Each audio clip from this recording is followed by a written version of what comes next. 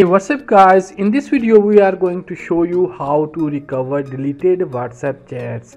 Even 5 years old chats you can recover with this method.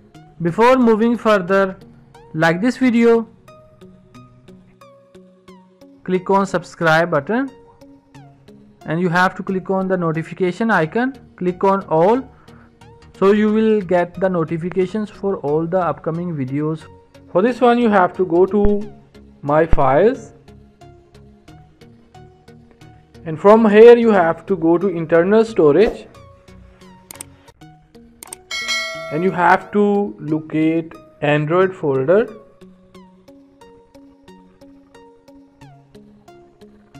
Here is android folder tap on it.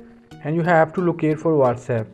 If you don't found the whatsapp folder here you have to go back scroll down you will see the whatsapp folder outside. In some mobiles you will find whatsapp folder in android and in some mobiles you will find whatsapp folder outside android. So you have to tap on whatsapp tap on databases. Here you will find all of your deleted whatsapp chats. You have to hold any of these and then you have to select all. Tap on copy go back and here you will find backups. Tap on it and you have to paste here. And then all the chats will be appeared.